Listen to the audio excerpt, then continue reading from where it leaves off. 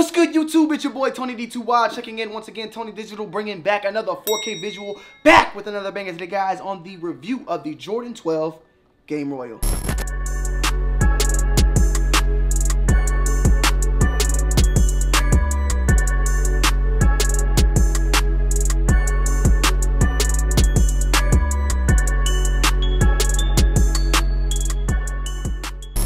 Guys, we got our hands on an early look, an early review of the Jordan 12 Game Royal. Now, these are set to release on September 21st, I want to say. Let, let me just double check that real quick. September 28th is what I'm seeing right here. But a lot of stores have been getting these in early, so I was able to get my hands on a pair to look at for you guys. September 28th, retails $190, and a lot of people have been liking these. They've been enjoying these.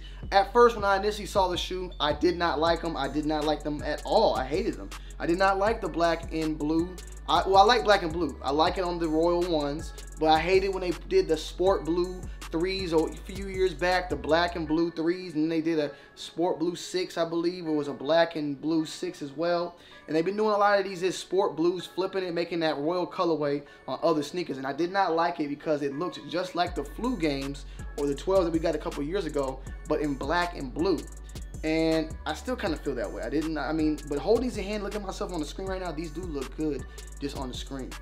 But once I saw that they put suede here instead of leather, and it's not a suede, it's more like a, as Bart had said, it was like a leather that was like really rubbed off on the top part of that leather and it has a very smooth, almost like furry type of texture on the top. It's not like a real thick, thick suede. It's almost like a, a, a nubuck or, you know I'm not good when it comes to this stuff. It's soft. I mean, look at it. Let me, let me get close up so you guys can see. It's like soft. It's soft, like Randy Moss. You feel what I'm saying? The leather on the upper is like any other 12 that we recently seen. Very, very similar to that of what just came out with the FIBA 12s. It's a leather that it doesn't really give. You know what I'm saying? It's not hard. It's like a thick, it's like a thick piece of meat almost, you know, pause.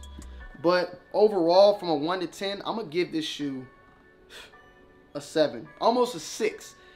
I like the colorway. I like the material mixture of leather and suede, but that's about it. And the color, the colorway and the, fact that it's a 12, but that's about it. The biggest problem with this shoe in general and seeing multiple pairs out is the craftsmanship. There's glue marks all throughout this shoe's bottom. You see it on the suede, it's glue marks. The cuts are not all right. It's glue stains. The quality control on this shoe in general, and I've seen on multiple other pairs from other places, that this is a big, big problem when it came to this shoe as far as the quality. Um, even on the bottoms, there's certain like parts where there's just markings and stuff. Like they just did not treat these shoes well when making them. It was a bad quality control effort on Jordan Brand's behalf. I mean, we do got straight down the middle, you know, this is this is good, you know, good to go. But quality control, the cuts, the glue stains, I mean, let's look. I mean, you'll see it in the B-roll, but there's glue stains all around this area right here. This is glue stains and trash. Trash, trash, trash when it comes to craftsmanship. You guys want the real deal, right? I always keep it real. I like a lot of sneakers, especially if I'm reviewing it. I usually don't pick up shoes that I don't like. I picked these up because I wanted to be a little bit different here. And this is a very, very popular shoe. But like, look at that. I mean, glue stains everywhere.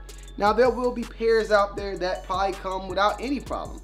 Just make sure when you get your hands on this pair of shoe that you check it, you double check it, make sure your pair is good. If you don't like the pair you got, ask, hey, do you got another size eight and a half, nine, whatever it is, and check it because these discs are not A1 as far as quality. On the insole, you got a black insole with a blue Jumpman. Eight and a half sticker is right there. You see it.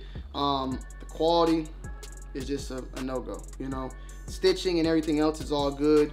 I'm just not a fan of the cut. The cuts of the leather, the cuts of the suede uppers, the glue stains on the midsole that just really throws me off all about the shoe. Now, looking from far away, right here, rocking them, we're, we're good to go. You know, I'm good. I'm happy. It's no problem.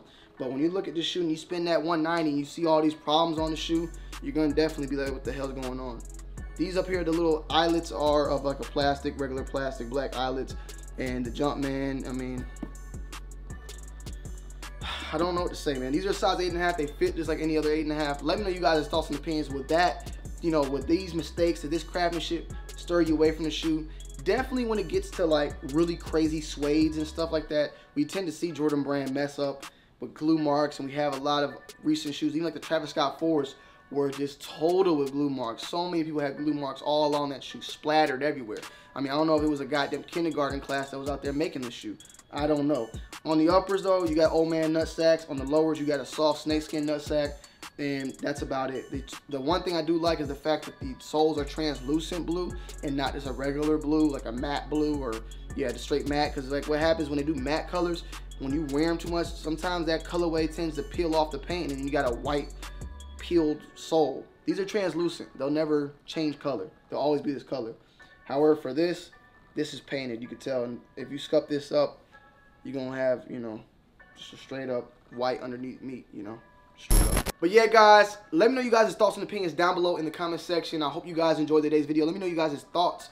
Is this a cop or not? You know what I'm saying? For me, I don't think I'm going to cop this shoe. I don't think this is a shoe that I would keep around at least. Um, this is just my opinion. I'm not I like the colorway. I just, the, the, the, but the price, I don't know, man. When it gets closer to release date, I'm, I'm gonna, I'm gonna sit on this and think on this shoe. I'm gonna think on this one because I don't like the quality. And $190, I damn sure don't like the quality. But I'm gonna end you guys off with the on foot. Let me know you guys' thoughts and opinions down below. Make sure you follow me over on Tony D2 Wild on Instagram and Twitter. And I will see you guys in the next video. It's your boy Tony D2 Wild checking in, checking out.